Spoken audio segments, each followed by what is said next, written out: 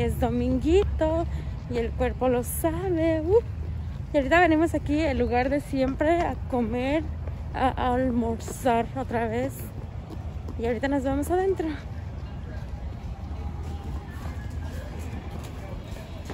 Y ya va Axelito. Axel.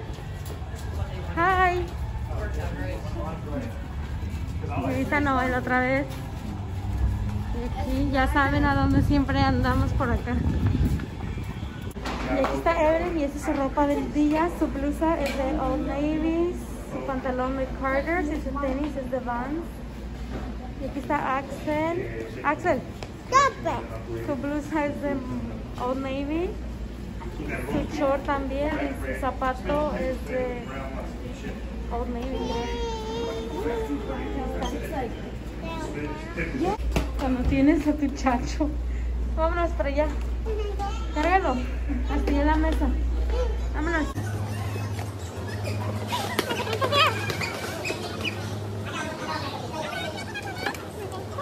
Adriel. Adriel, acá. Ahorita viene.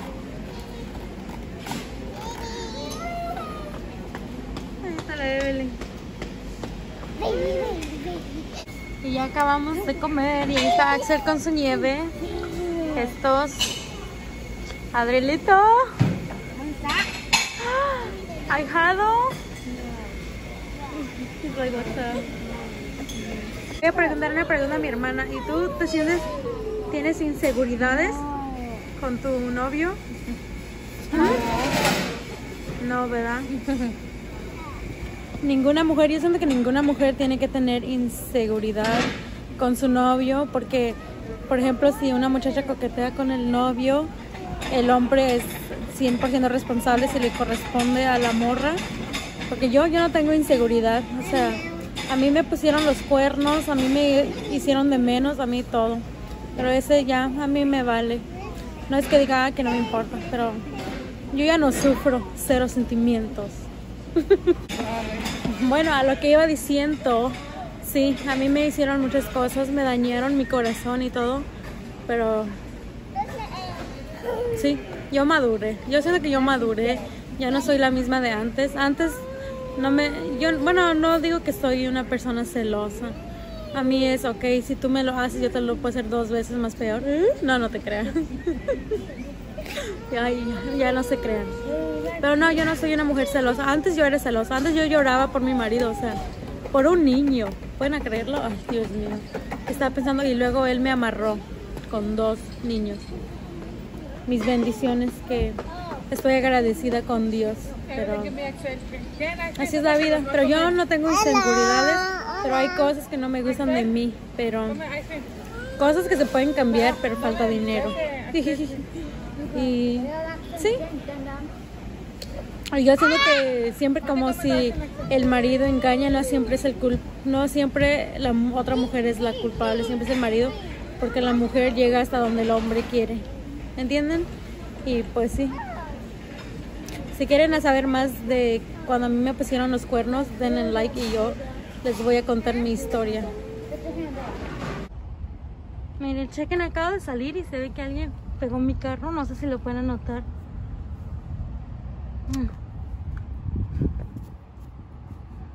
Y luego aquí en esta puerta por acá se ve. Aquí no sé si lo pueden ver. Ay, Dios mío. Y sí, la verdad yo no sé por qué la gente no sabe manejar y así. Ay, mi pobre bebé. Ay, pobre bebé. Bueno, sí. Bueno, no si ojalá y no sea que lo pegaron. Si no, yo voy a pegar un carro también y no me importa quién sea. No, no te creas, yo lo sé. Ahorita llegamos aquí al Tanger Alley un ratito. Quiero ver una tienda. Porque como les dije que ayer no encontré la gorra y voy a ver aquí. A ver si puedo encontrar una. Si no, pues ya a la Walmart me voy. Aquí venimos y las filas están largas donde sea. Como ven, hay filas en todos lados. Menos en algunas. Pero en esta, la que quiero ir, tienen una fila. Quería ir yo a American Eagle, pero la fila está muy larga y yo creo que aquí vamos a esperar un rato. Si no, pues ya nos vamos porque uh, hay mucha gente. Yo pensé que no iba a haber mucha gente el día de hoy, pero sí hay.